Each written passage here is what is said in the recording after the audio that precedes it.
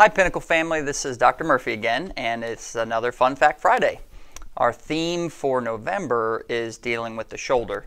So this is really a quick test that you can use to determine if you have an impairment that is related to a problem with your rotator cuff or with shoulder pain that you might be experiencing.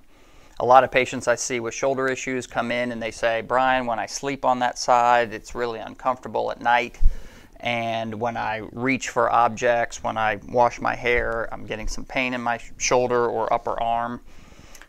This test will help to determine if the capsule of the shoulder is tight, which could be contributing to why you're having pain in your shoulder. So it's a very simple test.